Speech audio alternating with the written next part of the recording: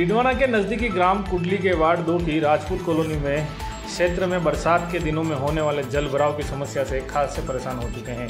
कई बार जिम्मेदारों को समस्या से अवगत कराने के बावजूद यहाँ के लोगों की समस्याओं का समाधान नहीं हो रहा है, जिसके चलते इन लोगों में आक्रोश बढ़ता जा रहा है। इन लोगों ने स्थानीय सरपंच को भी कई बार इसकी शिकायत की, लेकिन किसी के कान पर जू तक नहीं रहेगी।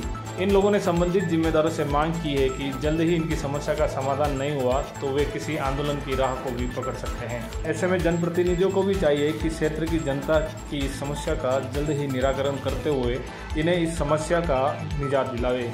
इन्हें इस समस्या से निजात दिलावे।